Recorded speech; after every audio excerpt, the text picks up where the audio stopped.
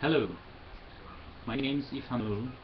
I'm speaking from you from my desk and uh, you might feel a little bit seasick because I'm moving a little bit and that's because I'm not just sitting, I'm not standing, I'm actually walking. I'm walking at uh, 2 kilometers an hour uh, and this is for me the perfect environment to keep working. Uh, I have my headphones on which are totally uh, wireless so that way I'm uh, I can move anywhere I want. I, I don't have to be careful about wires. Um, and this is completely done from my desk so I can I can start typing on the document so if I just move this typing document here I can't see what you guys are seeing but at this moment I can just type in and uh, continue my document on um, on a walking desk.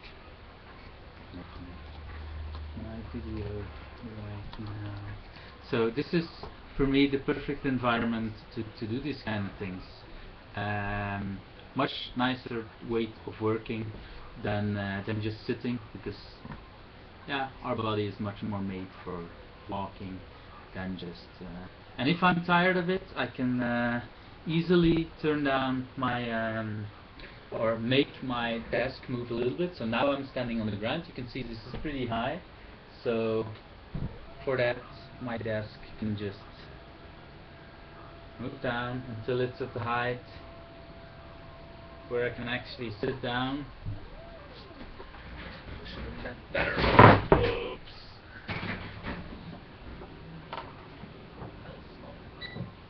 So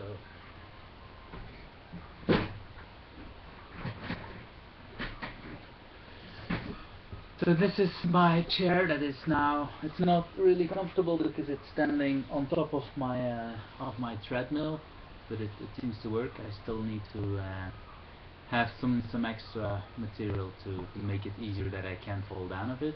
But at this level I can type again sitting down. So I can move in both directions. This is a nice way of working.